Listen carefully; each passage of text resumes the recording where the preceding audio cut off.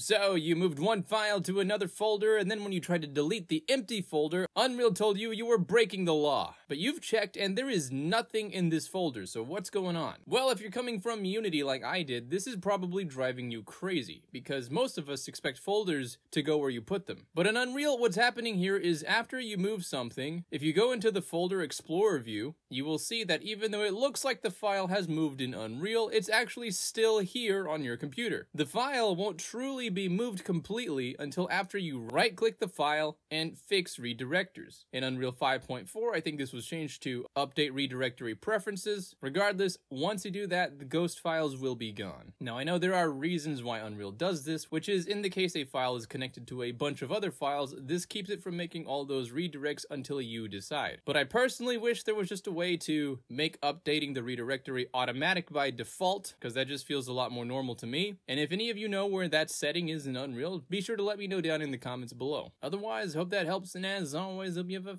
fantastic day, and I'll see you around.